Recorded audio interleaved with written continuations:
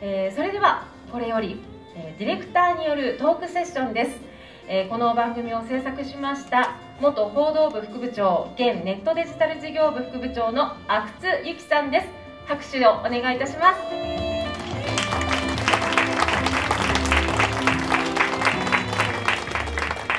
こんにちはよろしくお願いします。よろしくお願いします。お越しいただいて皆さんありがとうございます。よろしくお願いします。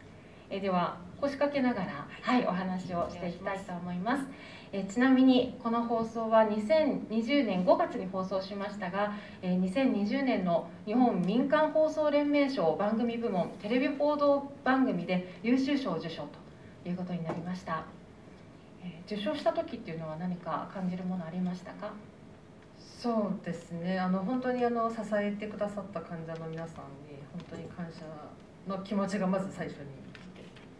であとはあのまあ夫も家族も喜んでくれたのでよかったなと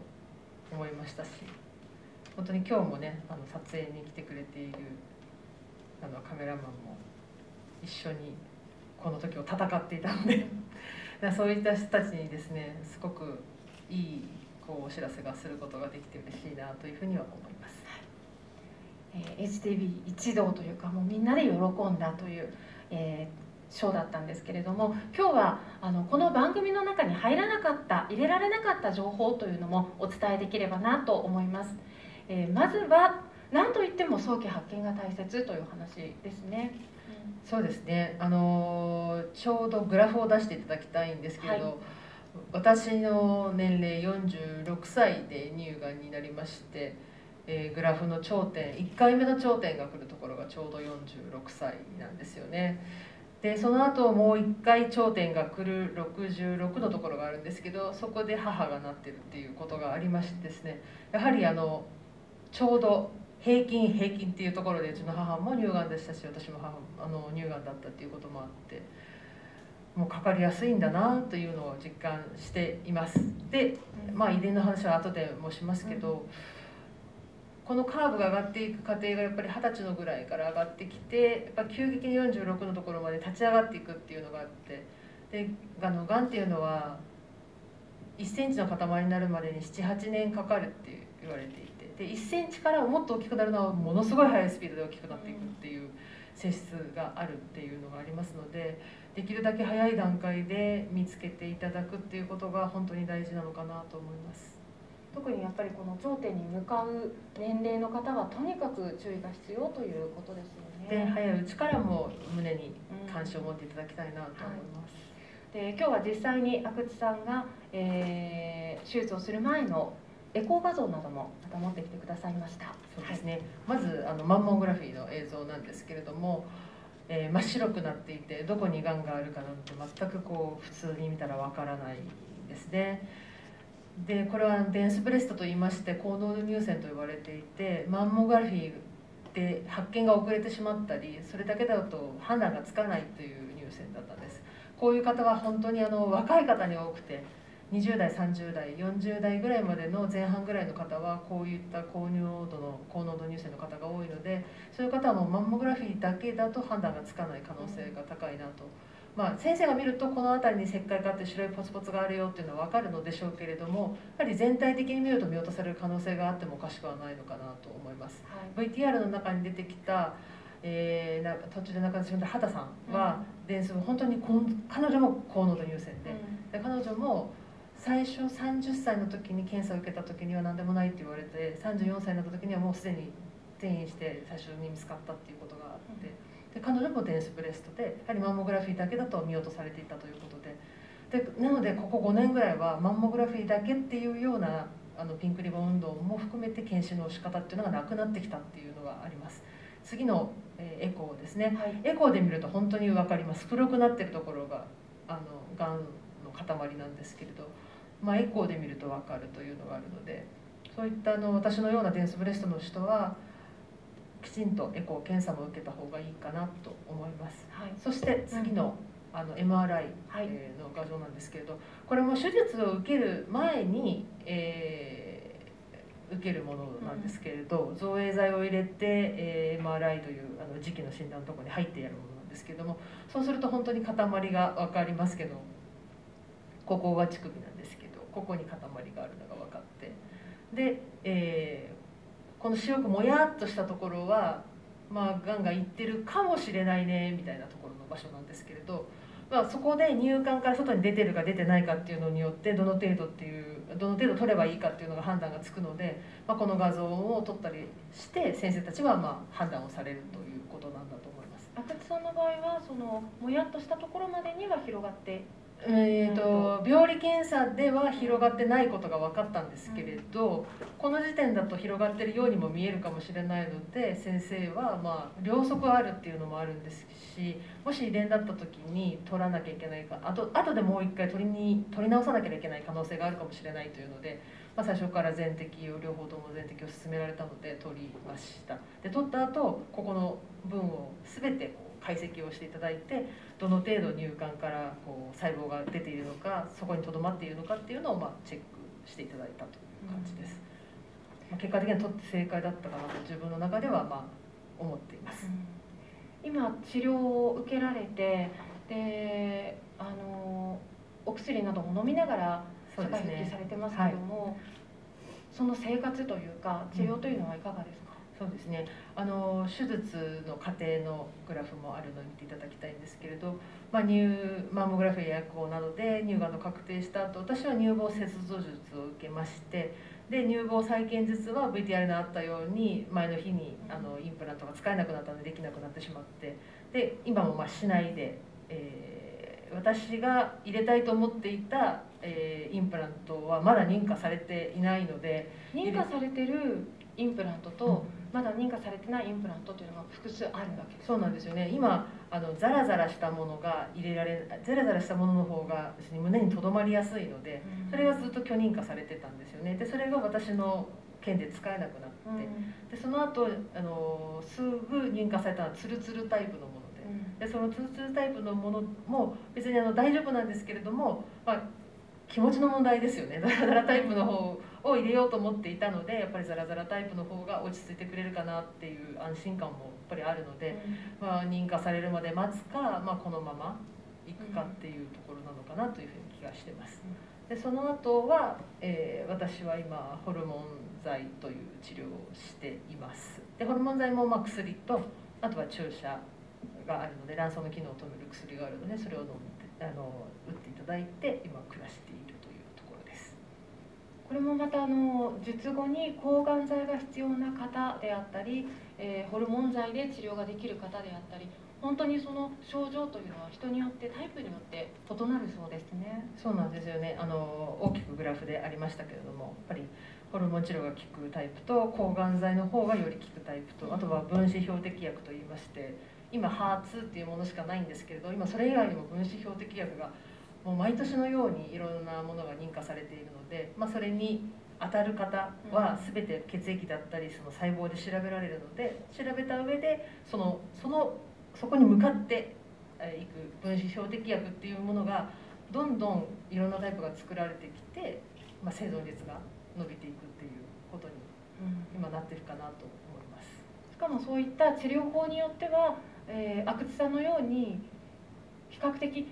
割とすぐ会社にいらっしゃいましたよね。割とすぐ。どのくらいでしたっけ 術後？えっとですね退院して1週間ぐらいで1回会社に来て、うん、あ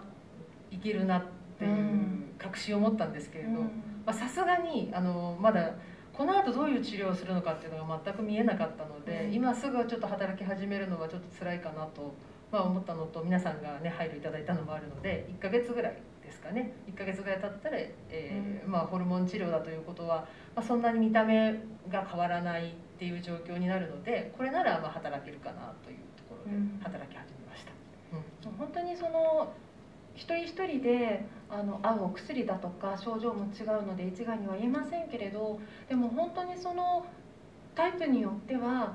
あの乳がんといってももう社会に戻れない怖い病気ではないということも正しい情報として知っておく必要がありますよね。そうですね。本当にあのホルモン治療もそうなんですけれど本当に人によって副作用の出方は違うので、はい、私ので言えばまあ左と右とあの両方全摘って言って普通に取ってるんですけど右と左のしびれ方今も手は違うのでしびれは残るんですしびれは残りますし、まあ、まだ後も消えてはねいませんから、まあ、そういった部分もありますしであとはそのホルモン剤を飲んでいるということで女性ホルモンが少なくなっているので朝起きる時にちょっと立つっていう動作とかに何て言うんでしょうねちょっと粘液が足りないというか。うん、うまくちょっと立ち上がらなかなくなったりっていう時はありますけれどでもそれはもう動いていけばなんとかなりますし逆に動かないとあの動けなくなってしまうので、うん、まあなんとか前前を進んでいったり動いたりっていうのを繰り返すうちに生活が慣れていくのでやっぱり日常生活を何不自由なく送れるようになるっていうのが一番多分大事でうん、でそこで悩んでしまったり落ち込んでしまったりもうこれができないって自分でボーダーを決めてしまうよりはこれもできるあれがあれもできるって言って前へ進んでいった方がまあ、より豊かな生活を送れるんじゃないのかなというふうに、まあ、患者さんたちからも教えてもらったので私もできるだけそういう生活をしていこうかなというふうに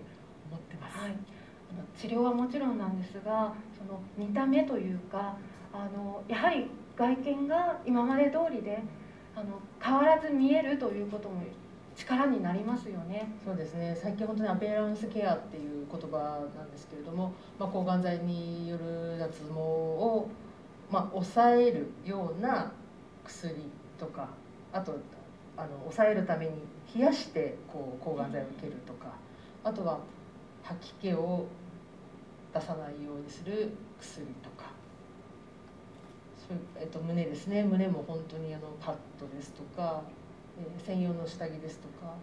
本当にあの最近本当にですねがん患者私の VTR は11人に1人だったんですけど9人に1人って言われる時代になって。まあ、大手のあの下着のメーカーさんグンゼさんですとかユニクロさんですとかが乳がん患者さんの専用のですね下着を、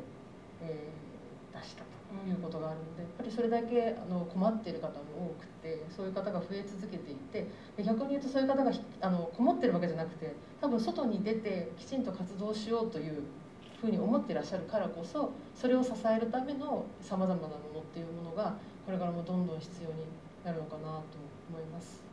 こういったものっていうのはその買う時の購入の金額というのはあのお手頃な値段で買えるようになってきているんですか？うんやはりですねあの専用の下着なのでそれなりの費用がするものが多くてそれをまあどう代用するかっていうのをみんなでね考えたりするところなんだと思うんですけれど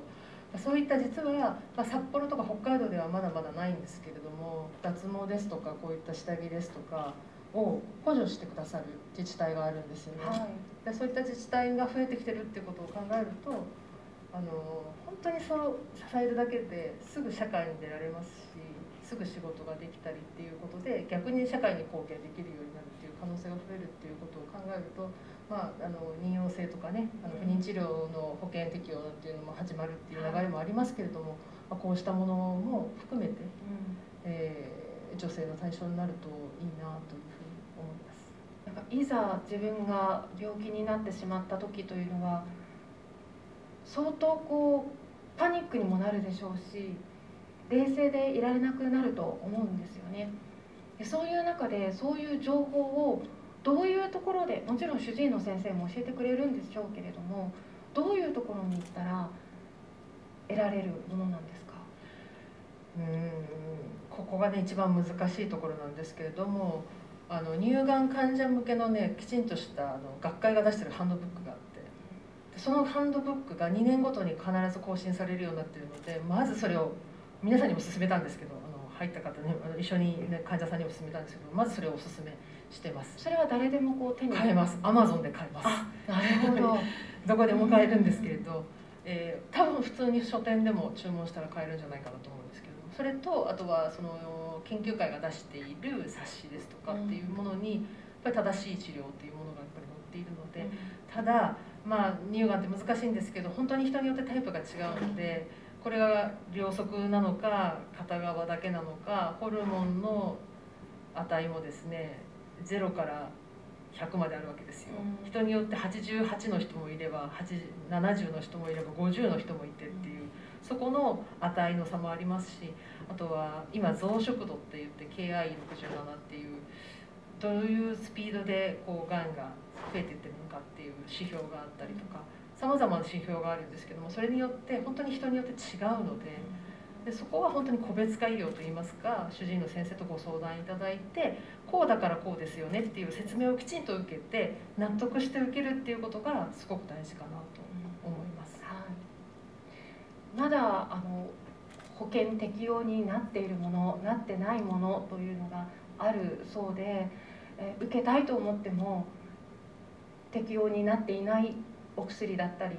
ものというのもたくさんあるんですよね。そうですねあの VTR の中でご紹介したオンコタイプ DX というものなんですけれどもこれはホルモン治療ホルモンがのバランスで、え乳がんになった可能性のある人っていうのとあとはステージの1ぐらいになっている方に限られるんですけれども、まあ、抗がん剤のを受ける必要があるかないかというのが判断ができるものでちゃんと病理検査で細胞がアメリカのラボに行ってでそこであの調査をしていただいて戻ってくるっていうものなんですけれどもこれは今まだ保険適用外なので45万円から46万円ぐらいするんですよね。ね。これが保険適用になると、まあ、よりやっぱり安い値段で受けられるられるようになるのでで逆にその分抗がん剤を無駄に受ける人が減れば抗がん剤の費用がなくなるっていうことがあるので医療費は下がるはずなんですよね。まあ、先ほど話した9人に1人とも今言われてきている乳がんだからこそ保険の適用などねそういう制度とかも含めて今戦ってる方のためにもスピードアップして進んでいくといいなと思いますよね。えそしてもう一つご覧いただきたいのが、えーこちらが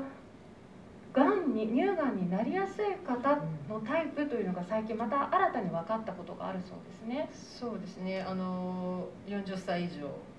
えー所長が早く閉経が遅い。で私あの出産経験ございません。であの乳腺疾患にもかかったことがある。家族にも乳がん卵巣がんがいるということでもうまさに高リスクなのだからこそああ来ちゃったっていう感想が出るのはそういうことで、まあ、いつかはなるかもしれないなっていうのを思って、まあ、生きてはきていて。で今遺伝子の検査先ほどのお話少ししましたけれども、はい。あの乳がん卵巣がん症候群って皆さんあのアンジェリーナ・ジョリーさんがあの予防的に乳がんをね切除されたの話を聞いたことがある方もいると思うんですけれども、まあ、その用の血液検査の、えーが今年の4月からあの保険適用になって、まあ、遺伝カウンセリングが受けなきゃいけないんですけども受けて、えーあこういった高リスクに当たる人でがんがあれば両、まあ、例えば右胸だけだとすると左胸も一緒に切除を保険適用ですることができるっていうことになったんですよね。でそうすることでがんの可能性がゼロに、まあ、ほぼゼロ、ま全くゼロとは言いませんけどほぼゼロにななるっていうところがやっぱり今後ね再発とかを心配する方には非常に朗報なのかなというふうに思います。で私はあのこの新型コロナの影響で本当はもっと早くその遺伝子検査を受けるはずだったんですけれどもコロナでやっぱり病院に行くのが難しいはい。状況になって受けられずにですね、うん。まあ落ち着く6月ぐらいまでちょっと受けないでおいていて、まあ、ようやく私は結果が分かったんですけれどもこれも結果が難しくてですね。そうなんですか。はい。本当にあの多分生まれた瞬間から乳がんにかかりやすいかかかりづらいかっていうのが分かるような時代にもう今なってきてしまっていてはい。だけどカウンセリングを何も受けずにそれを受けてしまうと自分のことだけじゃなくて自分の親のことですとか、今度はお子さんのことも考えなきゃいけなくなってしまうっていう、2分の1の確率で流れるものであればやはりその可能性が出てきてしまうとそれで悩んでしまうっていうこともあるじゃないですか。そうですね。ね、なので本当にあのカウンセリングも受けながら正しい知識を得た上でうん受けないと、うんまた違う心の病といいますかうん傷といいますか負ってしまうなっていうのもこう今後考えていかなきゃいけないのかなというふうに思います。そうですね。検査を受ける時、そしてその結果を待つ間、本当にその心の負担というのが大きいですから、やっぱりそこをケアするものというのも必要になってきますよね。多分知っていただいてがんになることが当たり前でも私たちだけで言うと、ね、9人に1人が乳がんですけど男性も入れると2人に1人ががんに普通になってしまう時代なので、はいそういった点で言うと周りにがん患者さんがいるのはもうごくごく当たり前だよっていう空気の中でうん物事が進むともっとねより生きやすくなったり進みやすくなるのかなと思うので、まあ、そのためにできることをやっていきたいなというふうに思います。はい、えー今日は、えーこの番組を作りました阿久津由紀さんにお話しいただきました。どうもありがとうございました。